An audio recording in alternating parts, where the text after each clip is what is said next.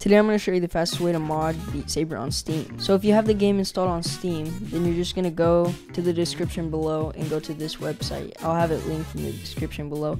Then you're just going to go over to here to where it says download. You're just going to click that and click download. You're going to click slow download. You're going to wait for that to finish downloading and you can see it down here in the corner. You're just going to click on it and I already have it installed but you're just gonna go through the install process. And once you're done with that you should come to a page that looks like this.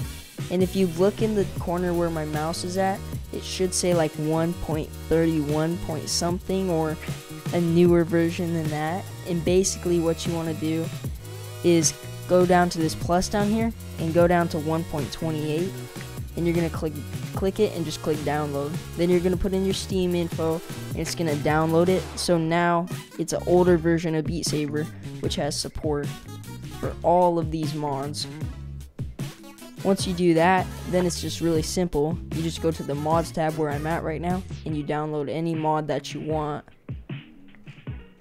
You can also go to models download any model that you want they have blocks platforms sabers and avatars and here's your maps. So that's all you have to do to mod Beat Saber on Steam. It's a little more complicated on Oculus. If you guys want to see a video on it, let me know in the comments. Thanks for watching.